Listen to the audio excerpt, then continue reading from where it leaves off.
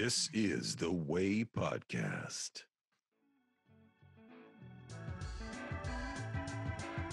If you want to know more about the Way Podcast, go to podcasttheway.com.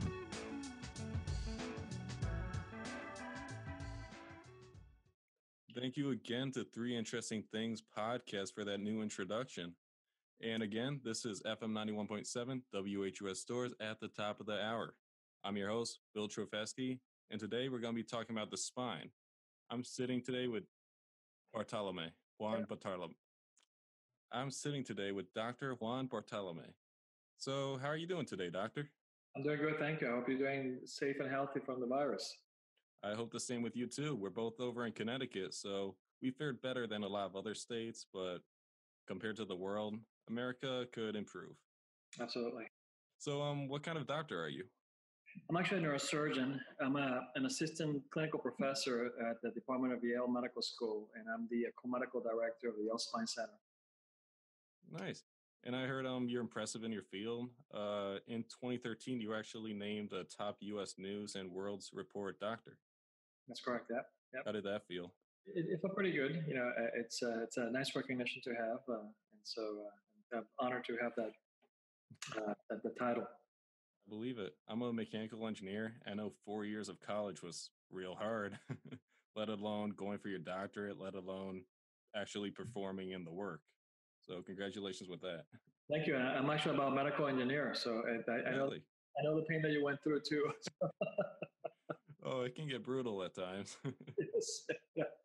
yeah, particularly the last two years. oh yeah, definitely. I might go for my master's. I know, uh, maybe even an MBA because I know some jobs offer that.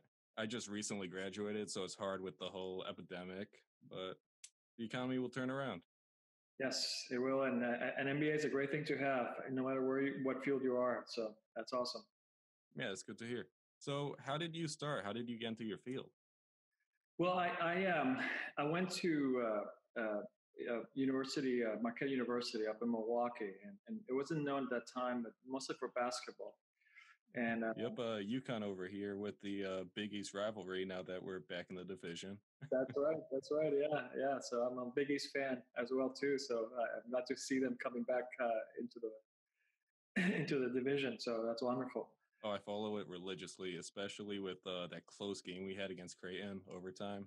That was a great game. That was a great game. I saw that too. I, I got that FS1 and I watch it every every time I can. And it's a good marathon to, to watch great basketball. Hundred percent. Yeah. yeah.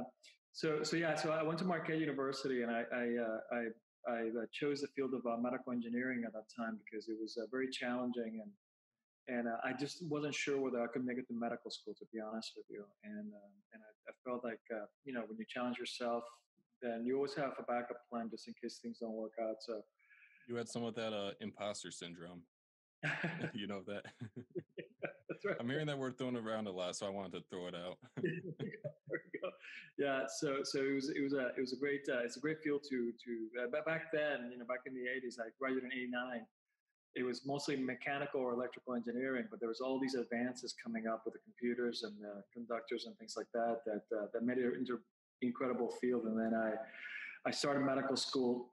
I got I, was blessed to to be accepted at Yale, and so I, I got great mentors that uh, that helped me to get there. And and um, and then part of the the Yale Medical School curriculum was to write a thesis. You have to you have to write a thesis, and I'm I, am not I wasn't good at writing. I, that was one of my weaknesses. I, am from Puerto Rico originally, so English was you know quite challenging to begin with, and then having to write a, thesis was a, great challenge in itself. and I was Same here. I know the feeling of being a bad writer. Why I picked up engineering. Only numbers, no words. Only numbers, exactly, or, or programming. Uh, that, that, programming was like a, a, brand new thing back then, so it was wonderful to. Oh, programming was evil for me, especially Python. yeah, but back, back then it was Fortran and C plus. That's that's what we had back then. So yeah, and I hear Python's the easy one too. Oh my goodness, yeah, yeah. So so it was it was a it was a you know you always go for the challenge, and so um, I got uh, it, so part of the challenge was to try to get into into into writing a thesis, and I I, I met this incredible mentor literally in the hallway by by mistake, uh, and it was Dr. Charles Greer, who's uh, part of the, he is still part of the Department of Neurosurgery, but he was doing great research in spinal cord regeneration and uh, trying to, you know, trying to cure paralysis. And, um, and, and he put me under his wing and we were doing some great uh, work in terms of what happens when a cell dies and do we develop those synapses again? Do we develop those connectivities again? And, and, um, and then he introduced me to Dr. Spencer, who's uh, my boss, uh, my, my, mentor, who was the chairman at that time of neurosurgery. And, uh, and he got me into an operating room when I was like a second year medical student. I saw the brain and, and I realized uh, that that was, that was, you know, the most complex structure organ and, and that we still don't know much about it uh, and the intricacies of it and and being able to understand a little bit better with the research that we did and so it was just a great journey and so i was you know fortunate to be accepted to the program there and so i did the residency uh, yeah, at yale as well too so so it was uh, it, has been a really good journey and then i was uh, i did a fellowship in spine i actually spent some time in london with a very famous neurosurgeon, Dr. Alan, Cro- Mr. Mr. Alan Crockard, uh, back then, and I realized that spine is a field that kind of applies some of the engineering concepts, but but boy was I wrong because you don't understand the structure as well and pain. Uh, and and I just got fascinated by that whole field. And, and but you see like the engineering sort of forces at play, whatnot, but you can't factor in the human pain or exactly Exactly. You know, I, I always say if, we, if I could have the manual, you know, you're engineers, right? We, we, there's a problem, there's a solution, different ways to get to it, but then you all get a solution. In, in medicine, you think you have the solution. You know the problem, but there's so many ways, and you get so short because you we're so complex. And I always wish I could have that manual for each one of us to say, okay, this is your problem. This is what we can do. And, and I bet each person has their own solution. So this book might work on this person, but then you try the same treatment and nothing. And that's that's exactly the art of spine care. it's a, it's a you, you think you've seen it, you think you look at it, you think the MRI gives you the answer, and you do exactly the same thing, and outcomes are totally different. Absolutely, and and so it becomes it becomes a challenge. It becomes a challenge in itself, and and over time, you, you, you we all learn uh, as the field has evolved in the 90s, 2000s, uh, how how how we're beginning to understand a little bit better, but it's still not what we want it to be, and, and it becomes uh, a, a, source of challenge uh, uh, uh, to to look forward to try to be able to find that answer or that manual that, that we can all homogenize everybody with. So so. So it's, uh, it, it, had the concepts of, of, mechanical engineering, but not quite there because there's so many structures uh, that depend upon the spine that it becomes a, a, big endeavor that we're going to be working for a long time. I could see that. I um actually have a note right here.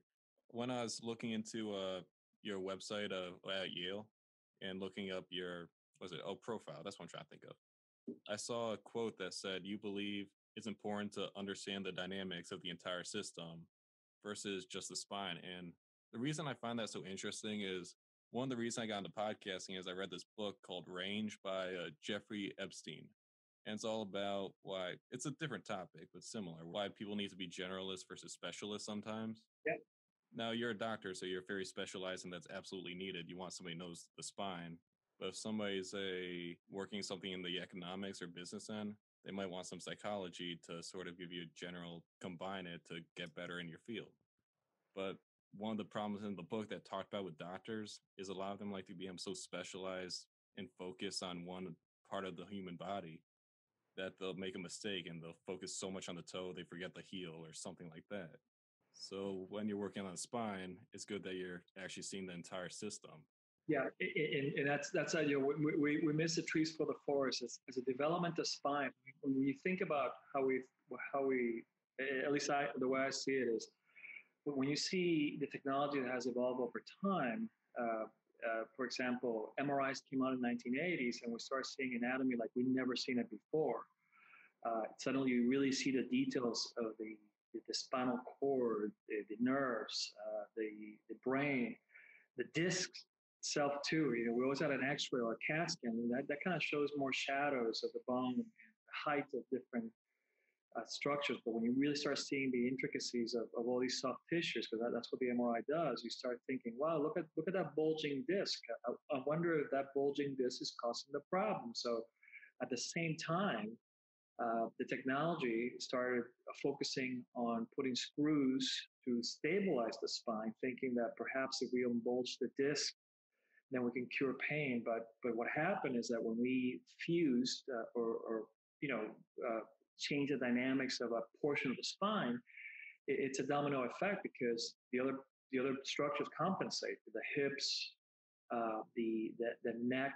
Uh, you know, so if we do a fusion in the lower back, the patient starts compensating by trying to lift their head up uh, so they can see the horizon, but that puts an enormous amount of stress at the levels in the lower back. And so people ended up with having also back pain. And, and that's why you really got to see the whole picture. You got to see how the patient is walking and how pitched forward they are or backwards or what their hips are doing to, to be able to say, you know, we need to put the shoulders at top of the hip. We need to put the head at top of the shoulders. And that's where the development occurred because we were just missing those lower trees in the lower back and not really focusing on the, the rest of the spine. And that's why we have to see the whole, the whole structures as well too. So are you against sort of this uh, spinal fusion as treatment? No, well, it, it depends. It, it, depends. You know, you, you definitely there's a bit, there's a role in everything that we do but I, I caution uh, very carefully to try. To, I call it don't don't treat the MRI specifically because when you when you have low back pain, you get an MRI of the lower back, and and and we all we all develop degeneration of our spine. We all fight time and gravity, so we put all these structures under a lot of stress, and so we all have bulging discs. We all have some degree of degeneration, but not all of us have back pain. Hmm. And and, and pointing the finger at just one little thing, you have to be careful because we know that back pain can be from a bad ankle, a bad knee, a bad hip. It, it, there are all these other structures that make us compensate, and, and they're called the, the spine, the equalizer. Uh, I'm sorry, but how can a bad ankle or I, I guess I would see a bad knee, but how can like something all the way down there affect your spine like that? Well, start start with a bad ankle. What do you start? You start actually. Let me give a perfect example. My wife had foot surgery, and and she started wearing a boot, and that completely offset her gait, her balance. And next thing you know, she was having back pain. And as soon as that boot came out, and she did some rehab, some physical therapy, she was able to rebalance herself up again. Uh, and and I just made an experiment with her. I just bought another boot for the other foot so that she could be perfectly balanced, and actually worked out pretty well. And I realized once you get that boot off, we'll be okay. So it depends on our gait. It depends on the whole structure as we try to fight time and gravity and create a balance uh, on ourselves to be able to look at the horizon. So a lot of little things can change the way that we we we we try to balance each other and, and the bag becomes the equalizer. Okay, I can see that. What um I it was a trend a while ago. People would wear those shoes that were your toes you know what I'm talking about with the toes sticking out those? Oh, okay, yeah, yeah. No, I'm sorry. I, I was thinking about a little earlier, but I, yeah, yes, yeah. Yes, it um it's basically like a sock that just really tightly wraps around your feet, your toes stick out, and you're supposed to run around on the balls of your feet to or even walk around on the balls of your feet because I guess the idea was a long time ago before shoes, humans would have to walk around on the balls of their feet, while now with the shoes on, we go heel to toe. And I guess the heel impact is supposed to be unhealthy for our knees or joints or even spine. Is there any like science to that, or is that all we're trying to make some money? I, well, I, am not familiar with, but but I, you know, everybody's body's different. So I like always say, whatever works for you, if it works, keep going at it. You know, and uh, but but everybody's everybody's very different, and you, you cannot only see the the the heel or the or the, or the ball of the foot. You got to see got to see are they hunched forward? You know, are there are there you know what their pelvis tilt is like and things like that. And so it's uh, everybody's different, and, and that's why I always say I, I'm open to anything as long as it works and doesn't cause you pain. I remember hearing too. Is it true that like every inch your head arches forward, it adds what was it like ten pounds to your spine or something along those lines?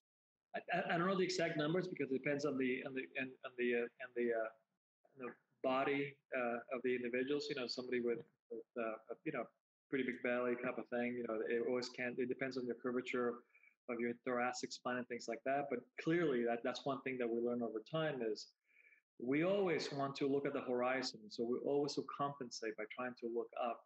And and what's from the head down, uh, it, it, it, everybody's different in many ways, and so you you're always trying to maintain that balance. And and yes, we learn over time. Uh, it's called sagittal balance. You know, when you move forward, you're pitching yourself in such a way that you're putting an enormous amount of stress in the lower back. The numbers I'm not quite sure, but it is clearly something that we learn over time because as we fused all these backs over time, uh, people were compensating in such a way that they were creating a lot more deformities uh, that were caused by the surgeries that we did in the past. And so now we're correcting those deformities by by trying to put again the the the, the shoulders on the hips and the head on the shoulder type of thing. So the stress from leaning forward or something along those lines could over time impact your spine or cause damage. Exactly. You know, you're, you're mechanical engineering. Imagine a, a, a, tower leaning forward. You know where the stress is being applied to, and, and you know that the compensatory stresses and the fulcrum of those forces that are being applied to, and you know those those things can break over time. Well, actually, speaking of that too, I was watching a YouTube video, and it was the most common fractured. Uh, what are they called? Disc or yeah? Do you know? I'm drawing a blank. What's the vertebrae? Vertebrae, yeah, yeah. So the bone is vertebra, and then in between you have the disc is made out of cartilage. So so bone is really solid, you know, it's calcium, and the disc is made of a of a much softer uh, uh, material called the uh, uh cartilage. Actually, it's what it is, uh, and a different type of cartilage. So a really tough one. Imagine a, taking a radial tire and you turn it into the you know, you drop it on the ground and then you have the real tough radial fibers absorbing all the pressures from those vertebrae, cement blocks put it.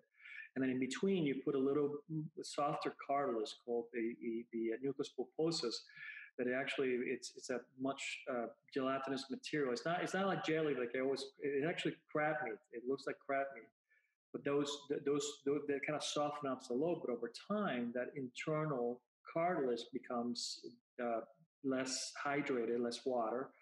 And over time, the outer, you know, imagine just jumping on that radial tire for years and years and years. Those radial fibers start breaking up, they become weaker. And so that's what causes, you know, the bulging discs that we have. Uh, and so, uh, and so that, that's that's what we're composed of. It's uh, the vertebra is a bone, the disc is made out of two type of cartilage, the tough annular wall, and then the softer disc in between. But I'm sorry, I interrupted you. We're going to say the, the type of fractures that you read.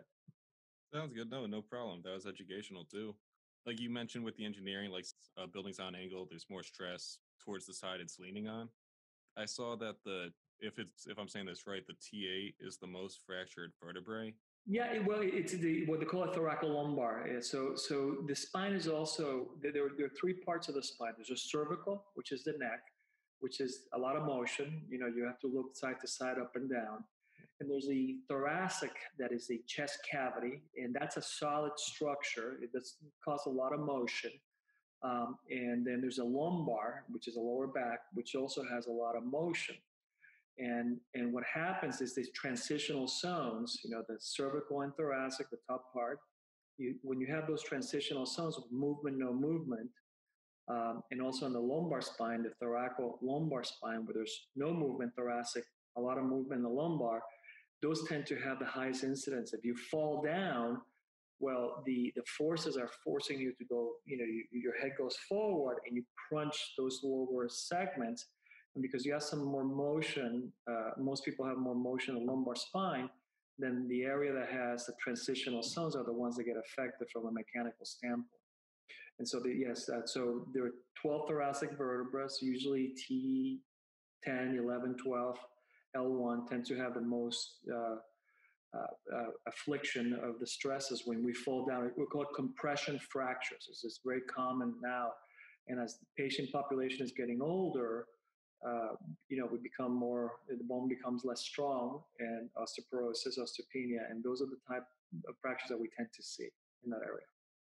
Okay. Yeah, what I was going to say is looking at it from even like a civil engineering standpoint, the spine just sort of bends and that T Well, that vertebrae I mentioned is right in the middle of it. Yeah. Looking at a bridge, it just makes sense that's where most of the stress would go and cause the fracture. Exactly, exactly. And, and, and what happens is that you might fracture that vertebra. A lot of patients complain of lower back pain. Even though it's in the middle of the thoracic spine, they complain about lower pain. Why? Because the muscles are Yeah. to hold you up. And so that's why it's like a kind of transfer of forces. Yeah. Oh, that's odd. There's no uh, like nerves in that vertebrae that say, "Hey, this part hurts." It's just the stress in the lower part Lower part, compensating. Exactly. So, so you don't you don't affect necessarily the nerves when you. I mean, yes, the bad fractures. Yes, if it compresses on the nerve, you're gonna have a lot of shooting pain down the legs or the front of the chest. But a lot of people experience uh, what we call axial, right in the axis of the spine, pain, and that's because the muscles are saying, "Hey, listen, we need to stabilize this segment. Uh, we need some help here." And so that's why a lot of people have a lot of muscle spasms along the spine. So it's not necessarily, and you bring a good point that when, when we think about pain, a lot of us think is of a pinched nerve. If I go into the spine and I go in and pinch that nerve, most people will experience shooting pain down along that distribution of the nerve. So every nerve goes into a different part of our chest, our lower back, into the legs, and different parts of our foot, feet, I'm sorry. And so so when people have pain right there along the back, along those muscles, is usually what we call mechanical back pain. And that's that's a tough one because a lot of people experience a lot of mechanical back pain, even without a fracture. And that that's where the challenge comes in and trying to help those patients. Wow. Yeah, I saw um, back pain is actually the sixth reason people go to see their doctors. Yes, I I think it's changed over time because it used to be, uh, you know, eighty percent of people develop back pain. It used to be the second most after the cold, but now with coronavirus, the numbers are changing quickly. Oh, definitely, I could see that. Yeah. And building off of that, I think I was a kid and I was playing baseball. And I guess I'll ask about your view on chiropractors in a minute. Yeah. I went to a chiropractor and I had a pain in my shoulder or something along that line towards my arm. And he told me I had a dislocated rib, or which Mhm. doesn't sound. Looking back, is that accurate? Well, I guess my question is: pain in your legs, arms, etc. That could be the result of your spine. And is that example I gave you something that could actually have been from my spine or rib, or was that chiropractor just trying to sell some cracking in my back? Well, well, I, I listen. I, I believe in chiropractors, uh, and we all have our different backgrounds of, of treatments and our, our, our the way that we we we, we were taught. Um, and I I I am I'm a surgeon, and I always try to tell people if you have back or neck pain, try to avoid surgery as much as you can. So I hope, I hope you respect that that philosophy, because as a surgeon, I'm trying to tell you to try to avoid it as much as you can. Um, uh, there are different concepts out there. Uh, there, there are different philosophies, and I, I truly respect them immensely. And like I like I told you earlier, if it works, keep going. You know, I, I I'm also a strong believer of of doing the right exercises, uh, and that's where the therapist, also physical therapist, come into play to be able to see uh, the whole network of structures working together and trying to develop a program uh, on which the patient can build upon themselves on a daily basis and be able to strengthen their core, strengthen the musculature. I have I have a shoulder issue, and when that thing flares up, and I know what I have, I have bicep tendonitis, which is brutal. And when that thing flares up, my neck pain comes in with a vengeance. It's unbelievable. And, and I know, and I know my neck. I, I know, I, you know, I know my MRI, and I, I know I don't have a pinched nerve. But but any any structure that uh, attached to the spine can affect neck pain, back pain, thoracic pain, and so chiropractors, cupping, acupuncture, you, you name it. You know, massage therapists. That's a lot better than me going in there and opening up and detaching the muscles and doing you know some major surgery. We do we do have to do it. Don't don't get me wrong. There's certain circumstances that we have to do it. Yeah.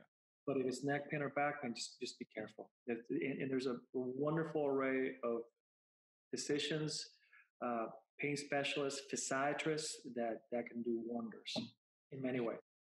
Sounds good. And one of the uh, reasons I even found you to come on the show is you're a strong advocate that surgery should be an like a last resort. It, it, should be no question about it for the right reasons, though. Careful because a, lot of people I get nervous when when we're treating the MRIs. You know, we have a degenerative disc disease. you have arthritis of your spine, and then we go in and fuse the back, and then again, we change the dynamics of it, and then we haven't really looked at the whole structure. We haven't, you know, you gotta cons- you gotta exhaust conservative measures, and sometimes you have to be careful because sometimes, unfortunately, and I have this back surgery can give the patient worse back pain, and it's it's this feeling that it, it's it's brutal to to accept it. So. And so, you know, I, I've been in the business for 20 years and I learned from my mistakes and, and from what I've seen over time. And so, um, a lot of people have that, you know, if it all fails, have back surgery. It's like, well, we'll be careful because once you change the dynamics of the spine, you cannot you cannot undo them. Like I cannot undo a fusion, and so you got to be careful. I mean, I'm not a doctor, but if somebody had screws screwed into their spine in other scenarios, you can't unscrew it. You can't take them out. Well, you, you can take them out, but the problem is that so so the the and, and, there, there's some there's some good evidence that when somebody has an instability of the spine where one vertebra slipping forward and pinching the nerves, going in there and and taking the pressure against the nerve to help with leg pain or or nerve or, or, or arm pain, and putting screws and rods to weld those vertebrae together can be very very effective. But to your point is that you know when we do a construct, uh, you know when you build a you know I'm from Puerto Rico, so everything's built as cement. So you put the rebar in there and you put the, the the cement around it to hold. So the cement is the bone. The cement is the bone. The rebar is the screws and rods that we put in. Yeah.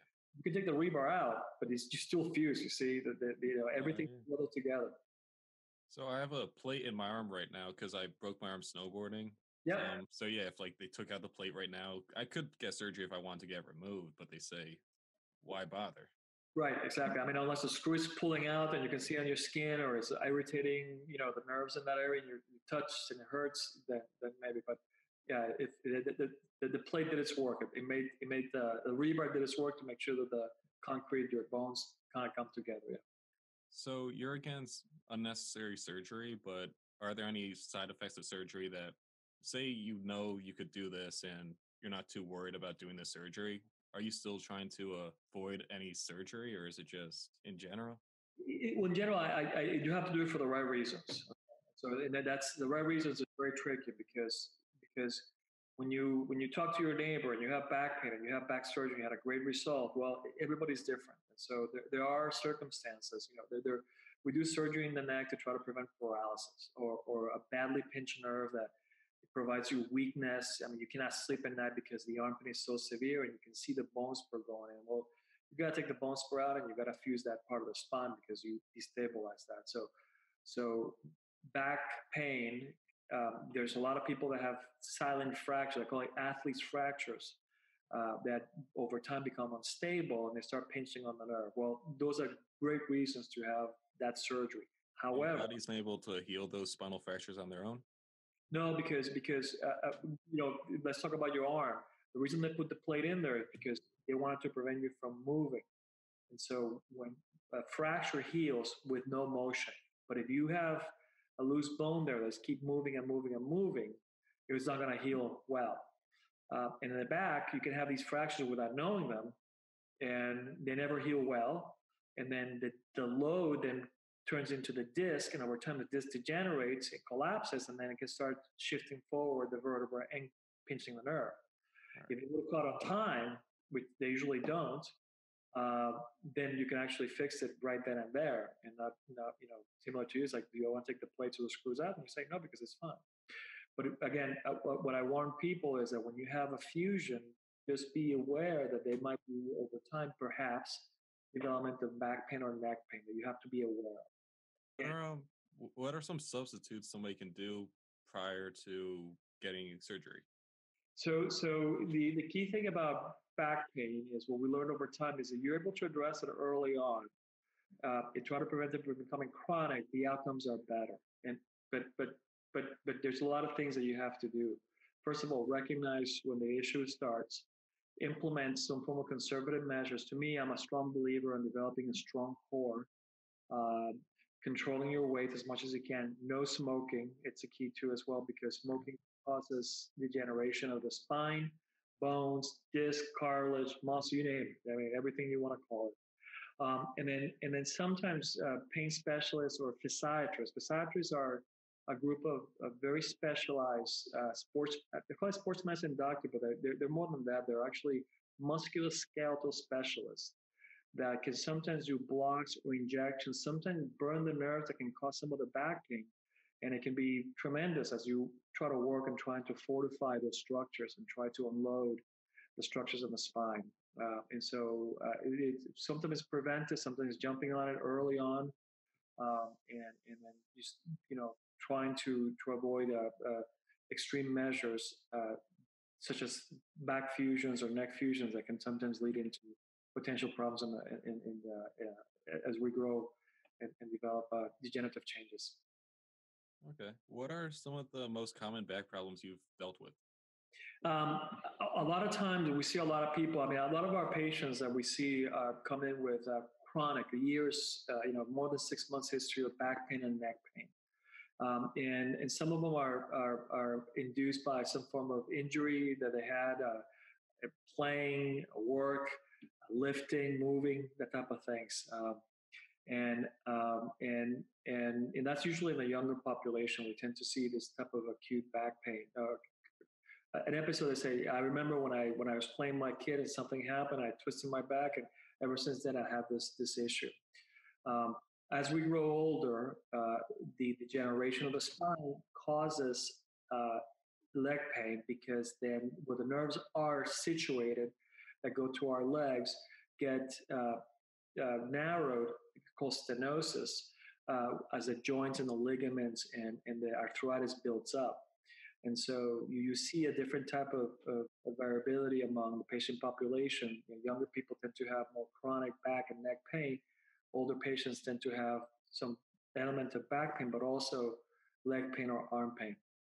This is scoliosis too, which is which is you know it's, it's something that happens as well too. But do you remember seeing a comment along the lines of ASC surgery? Yeah, I think it's anterior scoliosis correction.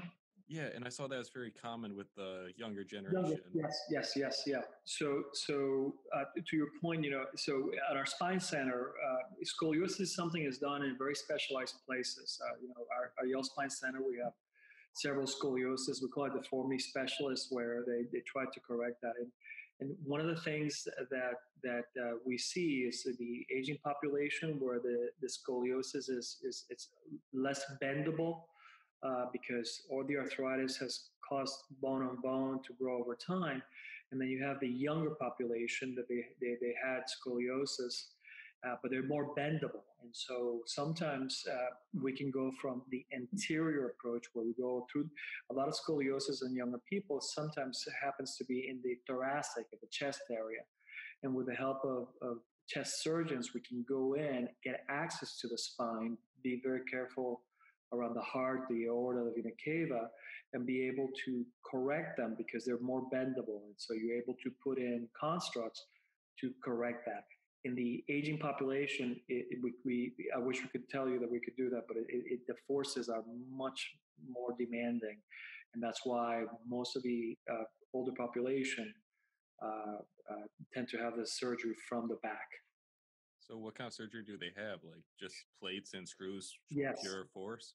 Yeah. So, so usually what happens is that uh, you put screws in different parts of the vertebra and you try to make a, a, a bend, you know, imagine trying to take a hose and very carefully with the forces trying to straighten that, that, that, that force by using rods and screws to put it all together straight. Sometimes we have to take out some of the vertebra to be able to create some space because sometimes it could be uh, impeding you know bone spurs that we really need to break down to be able to correct them properly so we can get a straight spine as we can and try to get again the shoulder above the pelvis, the head above the shoulder. You take out a whole uh, vertebra or just like a portion of it? Uh, sometimes we have to take the whole, sometimes we take a portion, and, and uh, we have to be very careful because we're also working around the nerves on the spinal cord. And so it's, it's almost you create a wedge shape uh, so that when you actually can bring it back, you, you know, the, the, the wedge that we took out now is kissing bone on bone, and that bone on bone can grow together well. Was seeing a chiropractor would that be a good substitute so you never get scoliosis? I I I Well, in, in my opinion, uh, if you have an X-ray of, of a curvature, uh, it's very difficult to be able to manipulate it uh, just just by external forces, in my opinion. Uh, and the reason I say that is because I've, I've been there, and it takes an enormous amount of force just being there and putting the screws into that, and, and being able to to do that. Um, I think chiropractors are very good in helping people, uh, particularly you know developing programs to prevent back pain over time. But but but to to in my opinion, I, I haven't seen. Oh, I, I, should be careful. I, I, I haven't been presented with a case where the squeeze was corrected by external forces, except for braces in young people. You know, you, you can prevent over time a scoliosis from getting worse by putting a brace, and that's something that that it's still in, in, the works in terms of who benefits from braces. Uh, we used to brace everybody back in the 80s and, and early 90s, and and, um, and some people gained some benefits from. It. We were able to arrest uh, the curvature uh, uh, uh decrease. We, we, weren't able to, to completely straighten them out, but we were able to prevent it from getting worse. So, say it's too late for preventative procedures, say, or say you're older, you're in your 70s, 80s, 90s and you already have that uh, deformed spine or something along those lines causing pain, but you're too old for surgery, what kind of stuff can you do to just sort of ease the stress, or is it too late to even bother trying to straighten your back or anything? Well, it depends. You know, a lot of people with a scoliosis and they have no pain, and so it it, it depends on the circumstances. Uh, uh, we we can follow curvatures over time, and they seem to be progressing. Then we actually try to help them develop a stronger bone. You know, a lot of people get bone density testing. We're able to contrast the effects of. We want to prevent somebody with soft bones to become osteoporotic over time. Uh, we educate them as well too.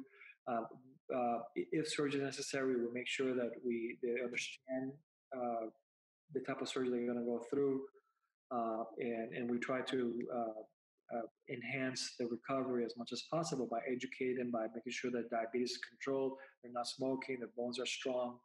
Uh, and we also look at whether or not the benefits will outweigh the risk.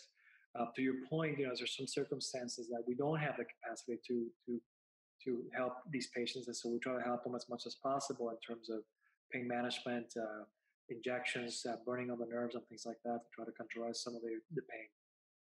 Right. And also always motivate them to do the exercises because there's a cycle, right? If you, are in pain, what do you want to do? Nothing. When you do nothing, the muscles get atrophied. If the muscles get atrophied and you want to walk to go to the bathroom, the muscles saying this is way too much. So you're running a marathon without the proper training. And so that's part of it also trying to make sure that that we we fortify as many structures as we can, depending upon the level of activity that the patient can do. So always try to stay help, uh, healthy if you can. Always, always, yeah. yeah Seems like the golden rule. that's a general rule, yeah, yeah. So, yeah. I've heard um when you put your hand on a hot surface, your hand will flinch before your brain even realizes your hand's hot, like before you feel feel any pain or anything. I've heard this is because you have sort of a quotation second brain in your spine, which reacts to pain like that, like I just mentioned when you're performing surgery or anything like that, do you ever have to factor in this sort of second brain or? Well, well, I, I call, well, I, I, th- I think, well, let's see. So there, there's a there's a concept called a gated channel uh, uh, uh, theory, where where you know, let, us say I'm I'm I'm, uh, I'm hammering you know a, a nail into a wall, and stupidly I instead of a nail I hit my thumb. So, so what, what do we do? We, we I, at least I do. I grab that thumb, I start shaking, I start biting on it. And so what I'm sending is two signals. The one the stupid me that hit me, and then the second one is the one that I can control by sending the proper frequencies and things like that. And so, and so two signals come to the spinal cord, and there's a gated phenomenon that say, okay, I'll let you go with this one first. Maybe hopefully the one that I'm biting my, you know, my, my thumb that controlling the frequency. I'm like, and then there's the one that you know the stupid situation and, and so there's a phenomenon where where and, and, to your point which is something that's also we learn and we're learning a lot over time is that that we can sometimes fool the signals that come from our limbs our back uh, into the brain by inserting uh, uh, a, a, uh, deflector. I call it deflector, but it's really a small little piece of wire called a spinal cord stimulator that stimulates parts of the spinal cord to kind of say, hey, it's you see that arm, you see that neck, uh, the leg pain that's been bothering you for years. How about if I send you the signal here and listen to me rather than the one downstairs? And so we send a signal to the brain that kind of fools the signals coming from the leg. Um, and so it tells you there's no pain in your leg.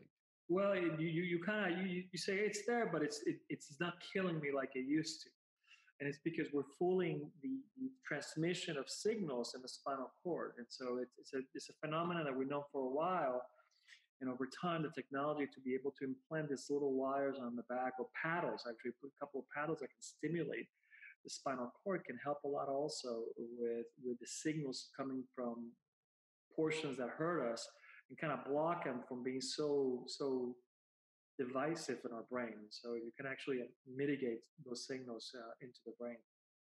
Um, Is, and, oh, go ahead. No, no, no, no. That's right. So it's a technology that we're still evolving, trying to understand the brain and the spinal cord, and how can we bypass uh, those those type of signals. Is there a lag in these or like a delay in these signals? They, As in you bang your toe against the bed and you're like, oh, I'm going to feel that in five seconds. Exactly. It's like a couple of milliseconds. And then, you know, you hit it and like, oh, and then it really hits you hard. You're like, oh, I'm really going to jump. So yeah, it, it, a couple of milliseconds in, in response to that. Yeah, it, part, part of it is, is, is, the transmission of information, but also the processing that goes through. Yeah. Is that um wire you mentioned similar to uh epidurals where you get shot in your back to numb the pain? Right, right. So an epidural, so epidural is the outer layer of the nerve.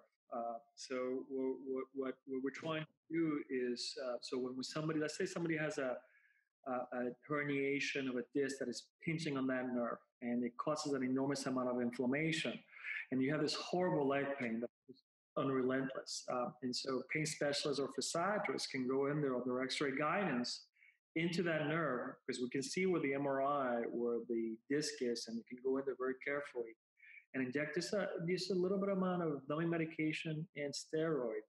And what that does is the numbing medication, sometimes people can see immediate effects.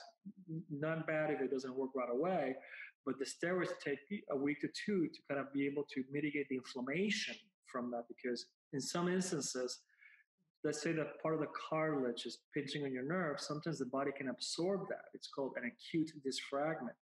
And it's sometimes very rewarding when you see that on the MRI, you know it's fresh, you know that patient picked up something and it's, Doc, I, I, you know, it's like I felt that twinge, and then 24 hours later, this pain, the inflammation just kicks in. And you see in the MRI, sometimes those epidurals can help quiet things down as the body absorbs those fragments.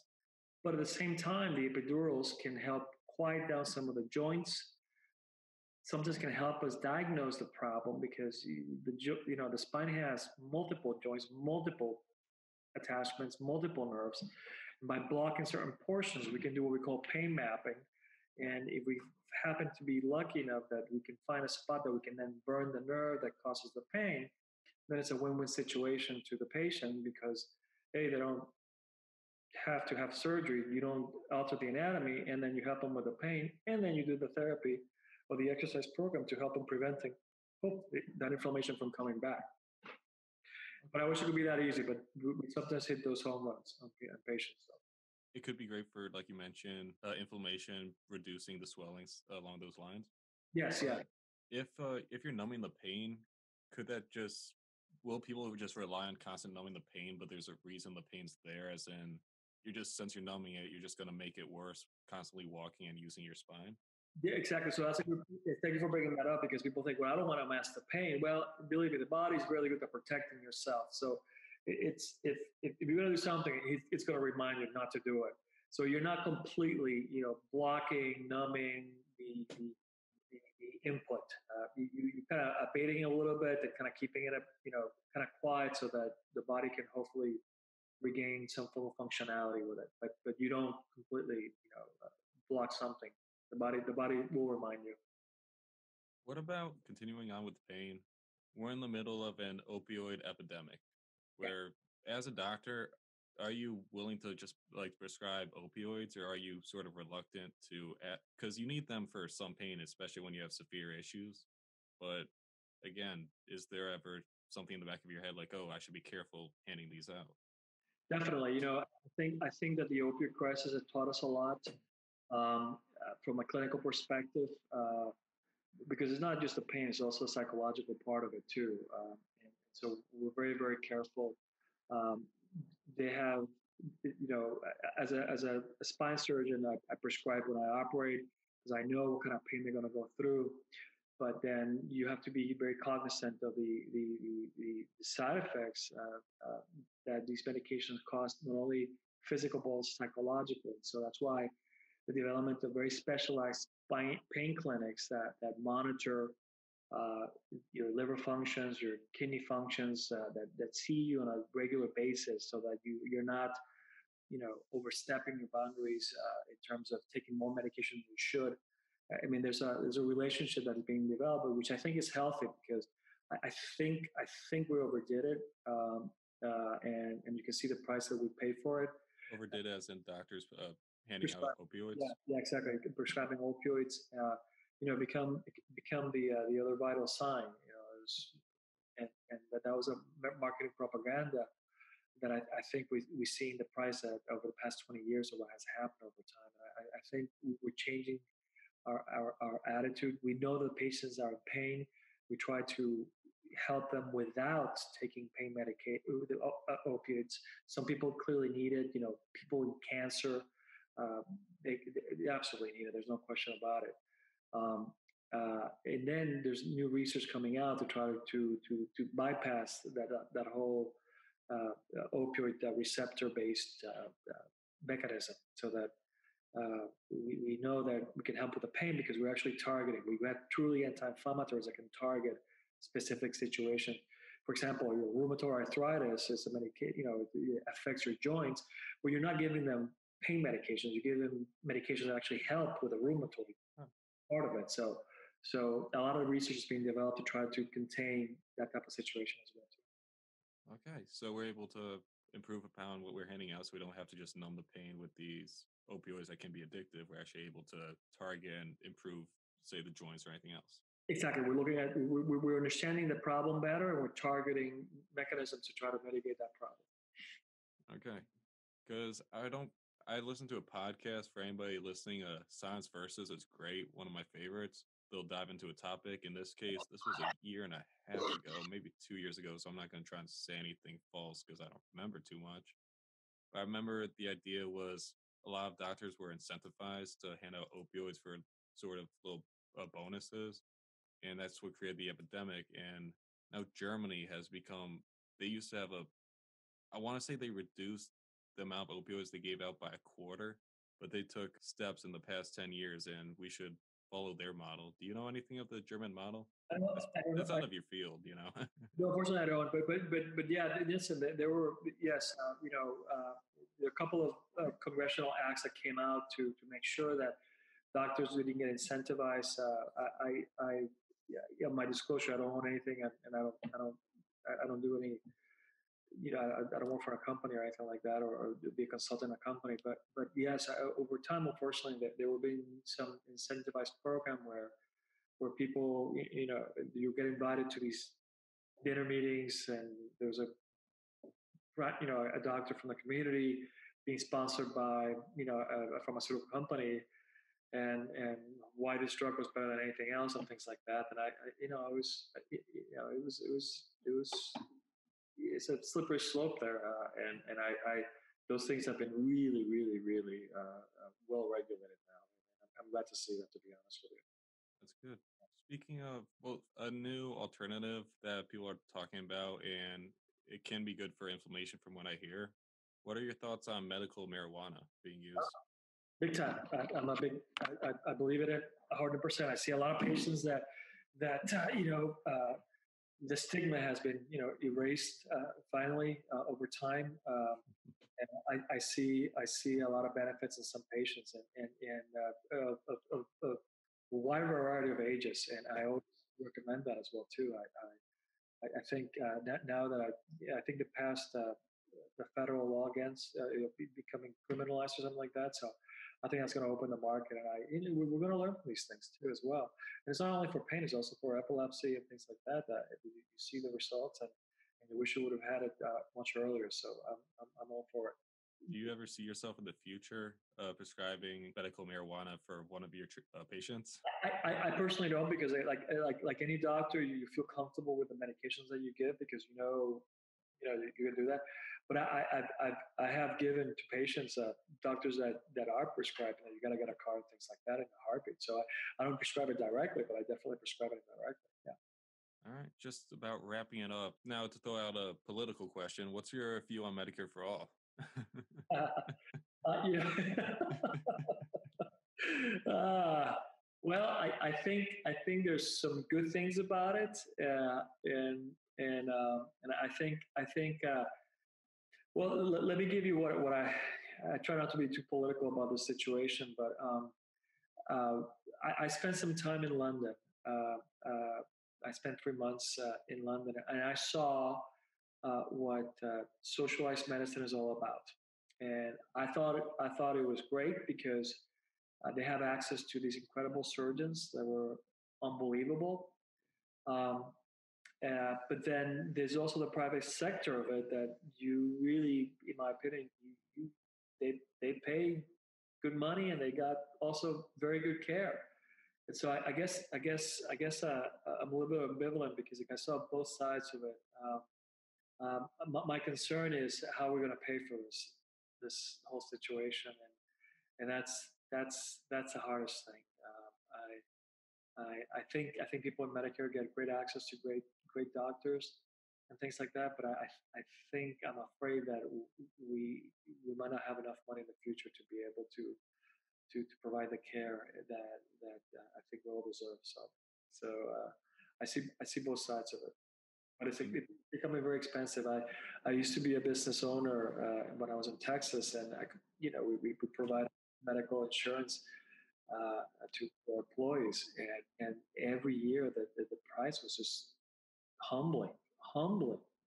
Uh, and so I don't know. I, I, I, think it's a good thing if we can afford it. How's that? Understandable. Makes sense. Is there any uh, final topic along the spine that you want to address? Um, no, basically, I, I, you know I always uh, I'm a firm believer of, of, you know taking care of yourself, as we talked earlier. Uh, try to avoid smoking. Uh, alternative therapies are incredibly good for everybody uh, if they can manage them very well. Uh, you know, if you get off for surgery, always always look for second opinions. It doesn't hurt. You, know, you got to be well educated. The better educated you are, uh, I, I, live by the loss of regret. You know, you never regret a decision if you know that you did every single step to try to understand better the options and the circumstances. Uh, and, and, we're not all doctors, but but uh, but uh, it's it's uh, you can get very well educated uh, during your process, and it, it never hurts uh, unless you have uh, something that's life threatening that is going to get you paralyzed. Uh, you know, cancer, oncology type of things always, always keep in mind that I, am sorry you're in pain, but, but, but, but think about getting better educated because unfortunately I, I've done it myself where I caused more pain than I wanted to in, in my patients. And it, it just, it just, just uh, it's something that you, but I know my patients have been very, very well educated before I, we endeavor, you know, endeavor to any type of surgery. So. Sounds good. And thank you, Dr. Bartolomei, for coming out to the show. My pleasure. Thanks for having us and, and call me anytime if we'll talk about something else in the future. Sounds good. This has been the Way Podcast. If you want to know more about the Way Podcast, go to podcasttheway.com.